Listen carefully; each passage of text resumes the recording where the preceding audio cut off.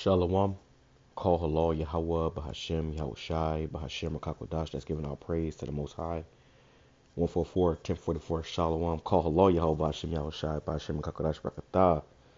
Double honors to our teachers and elders and apostles, a great millstone who taught us his truth and truth and sincerity. Peace and salutations to the hopeful scattered abroad. My name is Bar from the Prophets in Babylon camp down here in Tampa, Florida. I played this video. I got two videos I want to play and showing you that our salvation is nearer than we believed. It says man standing under massive UFO, which biblically, biblically is called a chariot. I ain't never seen them in the sky in my life. Look how bright the sky is, though. Am I tripping?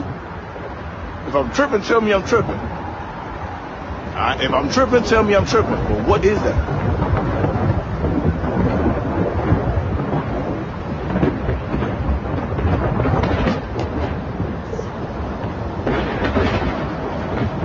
Crazy. I promise y'all, I ain't crazy.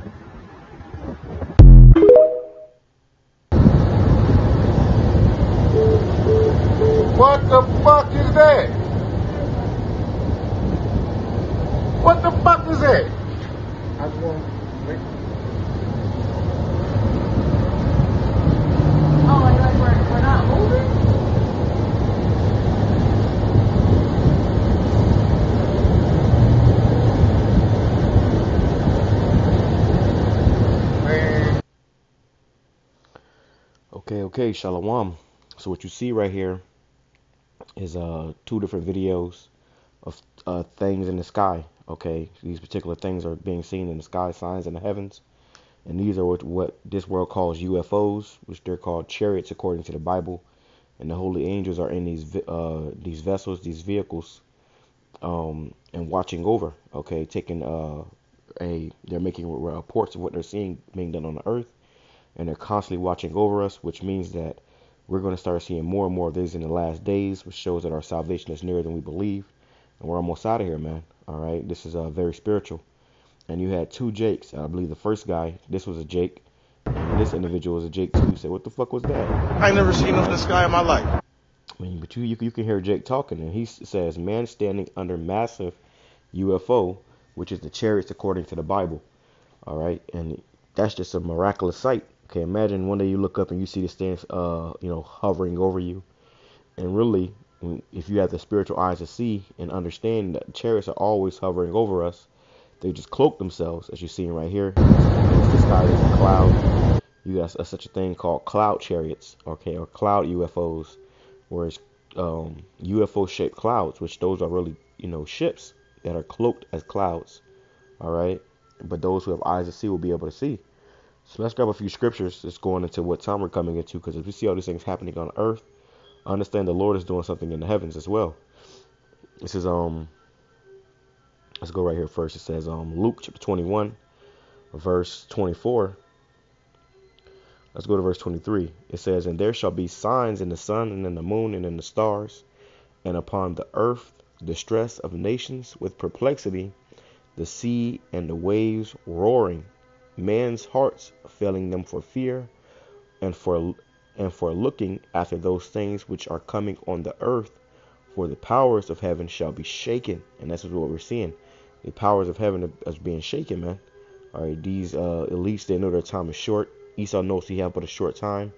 It says, Then and then shall they see the Son of Man coming in the cloud, in a cloud with power and great glory. All right, now this cloud here is symbolic for a chariot. Let's see if we can grab some more on it. I don't think it's probably not going to say much. But we know that this is talking about a chariot, okay? And the Lord left, he left in a cloud.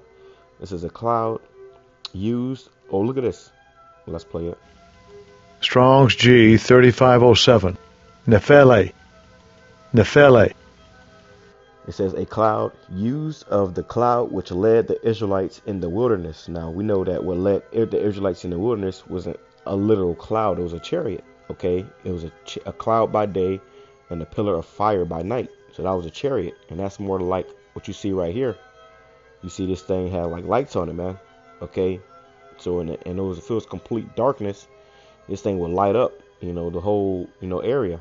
So that's the time we're coming into. We're to start seeing more of these things, miraculous things happening in the earth, and we're to know it's the Lord that's doing this.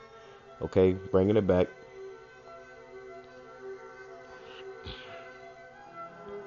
It says, um, it says, verse 28, and when these things begin to happen, begin to come a pass, then look up and lift up your heads, for your redemption draweth nigh. So our redemption is drawing nigh. Okay, our redemption is drawing nigh, and that's what that means. And this individual, he looked up and he saw this hovering over him. Okay, which those are the angels. Let's grab it in the NLT. It says, um, verse 25, and there will be strange signs in the sun and in the moon and in the stars, and here on earth the nations will be in turmoil, and we're already seeing this beginning now with all these rumors of wars. It says, perplexed by the roaring seas and strange tides, people will be terrified at what they see coming upon the earth, for the powers of the heaven will be shaken. It says, Then everyone will see the Son of Man coming with on a cloud with power and great glory. So everybody's going to see this. Uh, so when all these things begin to happen, stand and look up, for your salvation is near. All right, and that's uh, you know uh, an example of that, man. The Lord is showing us that our salvation is near. So in these last days, we're going to see more, you know, uh, stories and videos about people seeing things that are out of this world, you know, in the heavens. They're going to start seeing more ships. You're going to start seeing a lot more of these things um, taking place. You know, it's going, to, going to get closer and closer, showing you that we're almost out of here.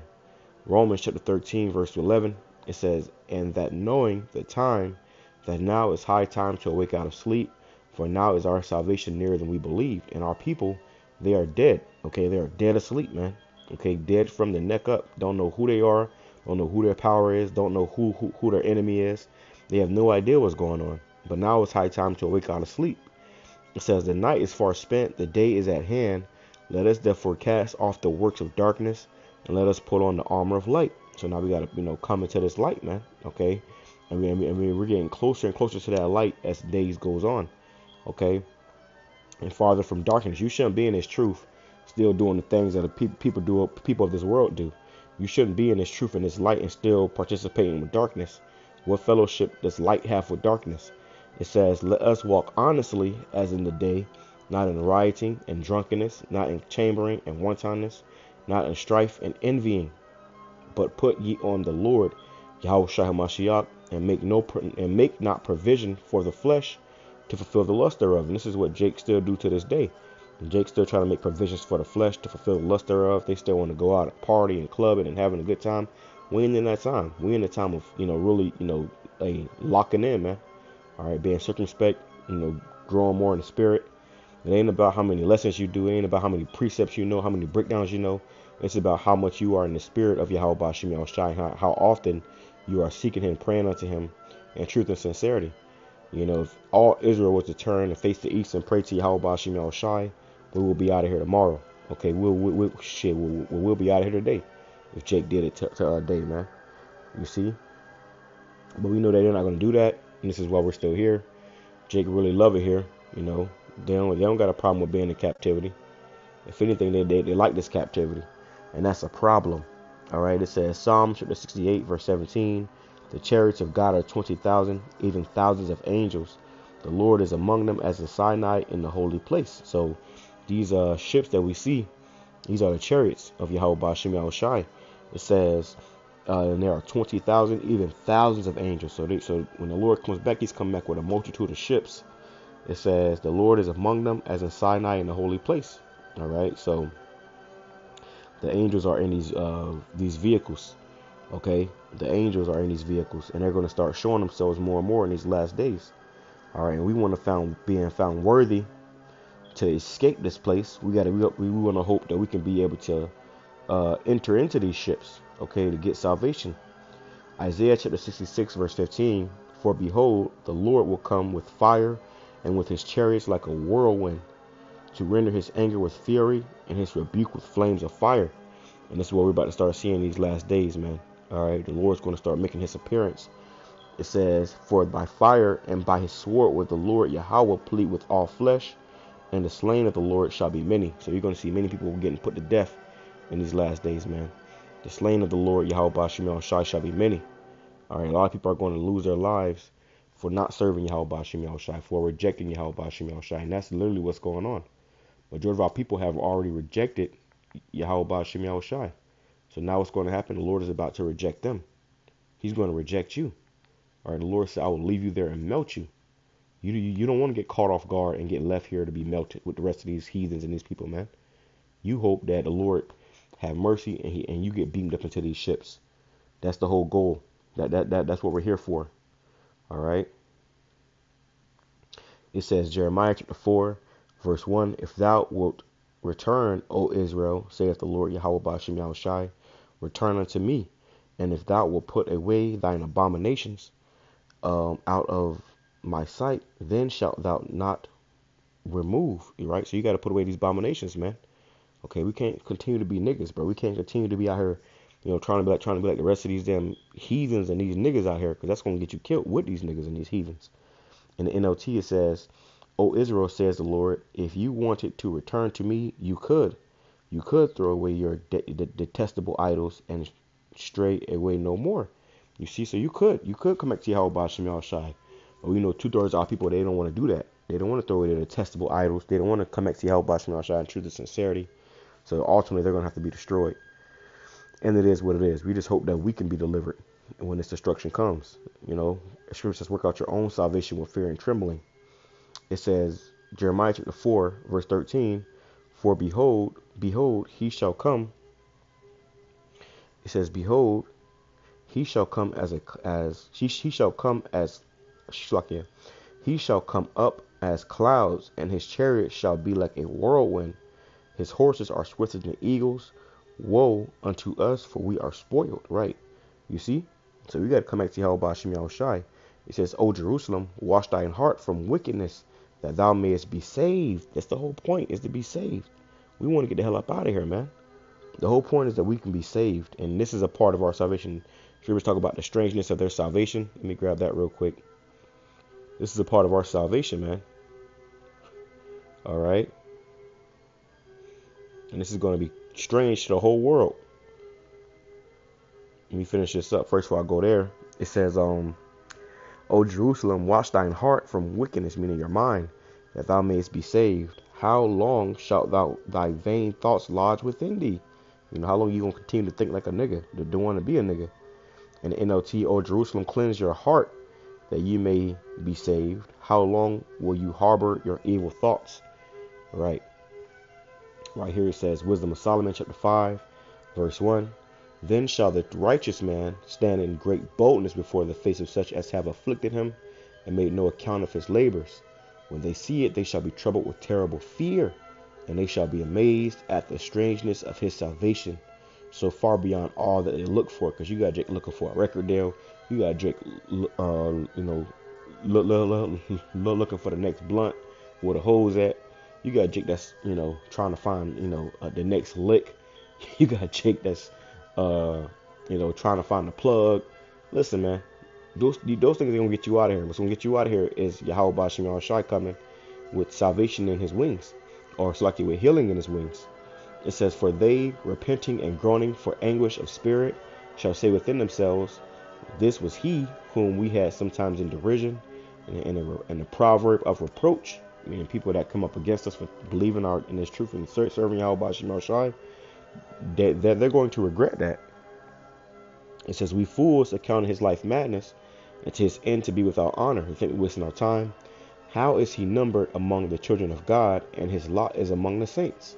All right, and that's the whole goal is that we want to get delivered. You know, when the saints go marching in, you know, oh how you would love to be of that number. Let me grab um. Let me see um. Let's grab this. Let's grab this, man. It says Ezekiel chapter 22, verse 18, Son of man, The house of Israel is become dro- become dross. It's be, is to me become dross. They are all brass and tin and iron and lead. In the midst of the furnace, they are even the dross of silver, which means, uh, uh, you know, uh, silver gets like a, a, a film over, it. you know, it's filth. It gets dirty. Film, you know, it has to be polished. But if you don't polish it, it's going to get, you know, uh, this, you know, this film of dirt on it, you know, that really is um unpleasant, you know, to see. You know, and that's what happened to Israel. We have become unpleasant unto Yahweh Bashem Yahushai. All right, and the Lord promised that He was going to burn this place with fire. It says, Therefore, thus saith the Lord, Yahweh Bashem Yahushai, because ye are all become dross, behold, therefore I will gather you into the midst of Jerusalem, as they gather silver and brass and, iron and lead and tin into the midst of the furnace, to blow the fire upon it, to melt it, so will I gather you in mine anger and in my fury, and I will leave you there and melt you. You see, you don't want to get left here. You don't want to find yourself not being on this ship, okay? Not being on that ship when them nukes are raining upon this place, because you will be melted. You will be destroyed. The whole goal is to get the hell up out of here. And if you don't want to get the hell up out of here, then you're gonna be left here. You're gonna be destroyed, and, that, and that's gonna be that. All right. Let's grab uh, one more before we go.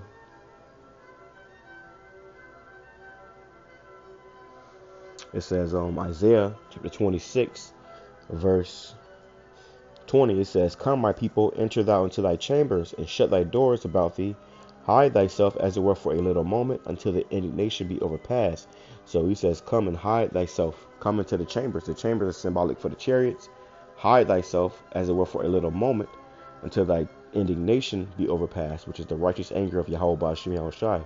When he melts this place, when he burns this place with thermonuclear fire, the elect are going to have to get beamed up into those ships. Okay? And if you don't get beamed up into them ships, then guess what? You're, then you're going to be dead. For behold, the Lord cometh out of the mist, out of his place, to punish the inhabitants of the earth for their iniquity. The blood, the like the earth also shall disclose her blood, and shall no more cover her slain. So there you go. Judgment is coming, man. All right, judgment is coming. You don't want to be a part of that. Let me grab one more Salakia. Let's go to Acts. Let's go to the book of Acts, chapter 1. This is the book of Acts, chapter 1. It says, um, verse 7 And he said unto them, It is not for you to know the times or the seasons which the Father hath put in his own power. So we don't know when the Lord is coming back. Only person that knows when this day is coming is the Lord, the Most High, Yahweh. It says, But ye shall receive power after the Holy Spirit is come upon you, and ye shall be witnesses unto me both in Jerusalem and in all Judea and in Samaria and, unto the uttermost part of the earth. over here in America. Okay, this is the uttermost part of the earth. So we're gonna receive power over here in, the, in these um, in this land of America. It says, And when he had spoken these things while they beheld, he was taken up, and a cloud received him out of their sight. So that cloud is talking about a chariot. Okay, not a little rain cloud, a chariot. It says, And while they looked steadfastly toward heaven as he went up, behold, two men stood by them in white apparel, which were angels, which also said, Ye men of Galilee, why stand ye gazing up into heaven? Question mark. This is this same Yahushai which is taken up from you into heaven shall so come in like manner as ye have seen him go into heaven. Then returned they unto Jerusalem for the mount from the mount of Olive, like from the mount called uh, Olivet, and uh, which is from Jerusalem a Sabbath day's journey. So the point is that those angels they told him that the Lord is going to come back the same way he left. He, he left in the ship. He's going to come back in the ship, a great mighty ship. Okay, and this is why we're uh, doing what we're doing, anticipating the mighty day of Yahweh Bashim when he makes his return. He, he burns this place up, and Lord willing, we can be delivered. We can be saved. And this is why we're going to start seeing more visuals stuff like this right here. Okay.